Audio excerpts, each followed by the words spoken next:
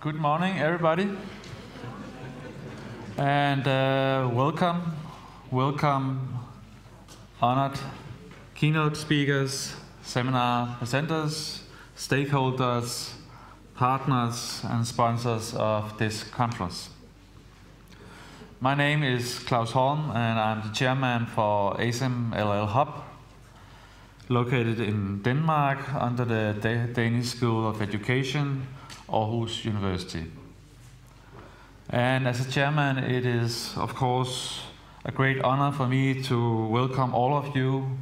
And all of you means more than 120 participants from more than 30 different countries across Europe and Asia uh, that has come to Copenhagen to be part of the ASEM Forum for Lifelong Learning 2016. Um, the title of the ASEM Forum 2016 is 21st Century Skills, and that means that this particular conference will deal, will deal with three main themes. First theme is about defining 21st century skills. And the question is what are the skills needed for lifelong learning in Europe and Asia in the 21st century? This theme and this question uh, makes it important to deal explicitly with what it means for specific regions and states that the educational landscape to some extent is changing due to an increasingly globalized world. The second theme that we will, um, that we will give some concern at this conference is related to the question about drivers for change. Or let me be more specific. What drivers for change are creating a revolution, a revolution of the educational landscape in the 21st century. This team includes both issues about technological and social drivers. Currently, for example, we are witnessing the claim uh, that di digital technologies are creating a pedagogical revolution, but do we have evidence for that claim? is probably still a question. The third theme uh, is related to the question about learning cultures. Or again, to be more specific, how are 21st century skills uh, influenced by the differences between Asia and European learning cultures and also within European and Asian cultures? These are some of the questions that uh, we here, the researchers from Asia and Europe, will address at this conference. As I said, I have been looking very much forward to this conference, and this is also due to my understanding of our current situation. That is, that I think that we are part of a defining moment where we are challenged to become able to formulate new lifelong learn, learning policies that makes people capable of dealing with rapid changes. I also hope that you are, all of you are as eager as I to get to listen to the researchers gathered here at DPU Aarhus University. So let me uh, end my welcome address with, on the behalf of ASEM LL Hub, um, uh, to welcome you all, all delegates, and also let me give uh, special thanks to the Danish Ministry of Foreign Affairs, the Danish Ministry of, for Children, Education and Gender Equality, and the Asia Europe Foundation, which are the co-organizers and sponsors of this conference. Thank you.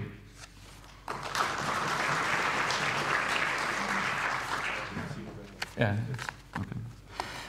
I would now uh, like to uh, give the podium for uh, opening speeches, three of them, uh, and starting out with an opening speech by the head of office from the Danish Ministry for Children, Education and Gender, Ms. Signe Tychsen Philip.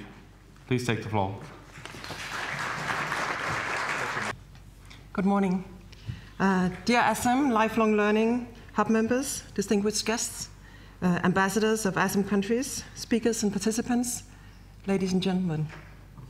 It's a privilege and an honor for me to open the ASEM Forum for Lifelong Learning. And it's also a pleasure to welcome you all uh, to Denmark and our beautiful capital, Copenhagen.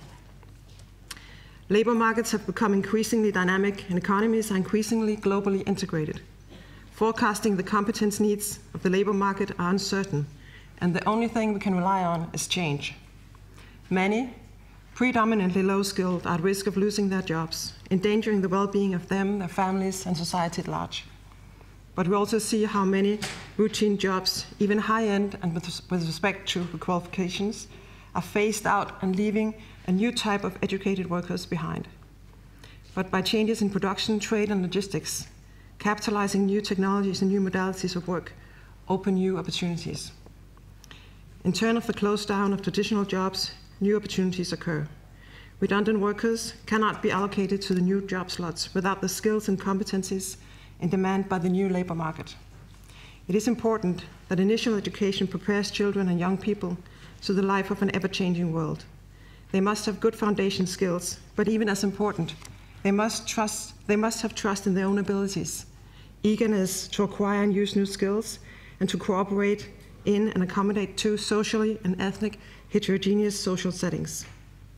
An efficient and dynamic lifelong system will be a precondition for a dynamic and competitive labor market with a socially sustainable profile and opportunities for all through life. So societies who realize this and respond by investing in efficient lifelong learning systems and invite business and industry to foster workplace learning will benefit hugely. Let me give you an example of the benefits of lifelong learning. A few years ago, a sugar factory in one of the Danish islands decided to automate the production, and they would have let most of their workers go. A responsible management, responsible unions, and dynamic local adult training centers joined together in due time to avoid disaster. Together, they provided individual training programs for the workers well in advance of the closing down of their jobs. By the end of the process, the unemployment rate in the area was unchanged. Even though it's not always possible to find ways for everybody, this is somehow a blueprint to renewal in the Danish labour market, and we must go further down that road. In this country, we build on a long standing tradition for lifelong learning, and by large, we have many of the structures and procedures needed for an efficient lifelong learning system in place. I believe it's fair to say that many countries could learn from our experiences. But by the end of the day, relevance is the crucial criteria. This is where the big challenges lie. The programs must constantly be renewed in response to changes in the labor market. And those who make use of the programs, the learners, must feel that education opportunity is relevant to them. They must be motivated to take part in the ongoing learning. This does not only relate to unemployed, it would be far better to enroll people before they have lost their jobs. So our challenge is twofold. We must build capacities to cope with change, and we must build incentives to utilize the potentials. People, companies, and unions must engage in relevant preemptive action in terms of setting up learning opportunities related to the implementation of new and innovative technologies in the companies. In order to do this, we need to know more. We know that people learn even though they're not in formal learning situations. And we know that there's a gap between their qualifications in terms of certificates and what they can really do. Often their competencies are much stronger than their papers indicate. And often people struggle even though they have basic skills issues that could be easily remedied. So we need to draw up a profile of real competences, of the real competences of the adult population in our nations. And we need to know more about how informal and non formal learning works. We must look deeper into the potentials of work based learning experiences. We must know what drives people in various cultural segments of the population to learning and how to avoid demotivation. I know that these topics are at the heart of your work and that you're going at the heart of what you're doing, and I will strongly encourage you to keep up the spirit and make an enhanced effort to bring the evidence that you produce to public knowledge. It is indeed important that this agenda is maintained in the ASEM education process. And those of you who participate in the upcoming seniors official meeting are in particular encouraged to stress this view in the process. We have noted that involving business and industry in education is on the agenda of the ASEM education process. We have also noted that this can be understood as involving business and industry only in universities.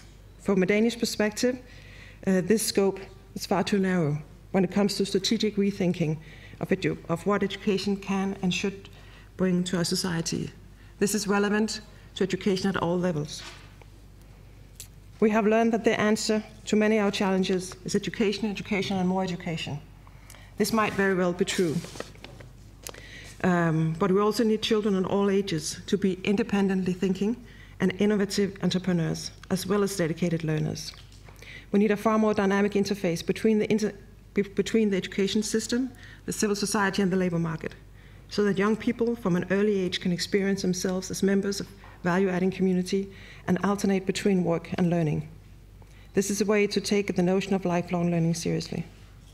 We must also be aware that other international settings for the international cooperation and education policies are active in the domain, and we should also take their achievements into account. First of all, we should not reinvent the wheel by repetition of what has already been done by others. And secondly, important inspiration might be gathered. The OECD has launched a skills strategy. It's a combination of existing data, analysis, and policy recommendations. We're eager to look deeper into this.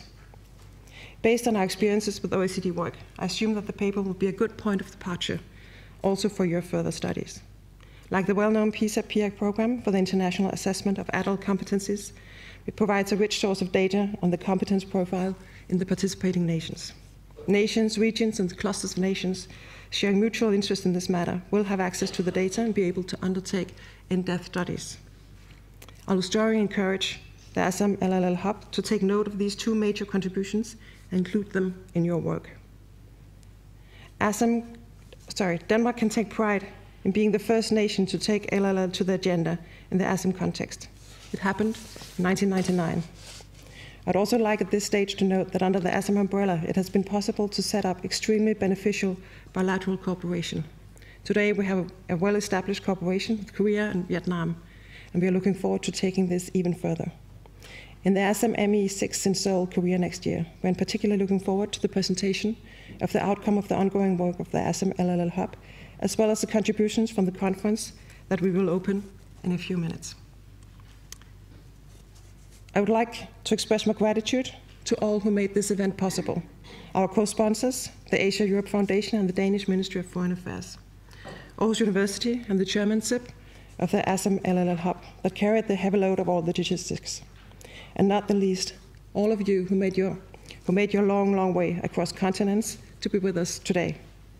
I wish you all a pleasant stay in Denmark and in Copenhagen. But first and foremost, I hope that you will enjoy the good spirit hard work and cooperation with the single minded, dedicated, and diligent colleagues. Good luck, and thank you for your kind attention.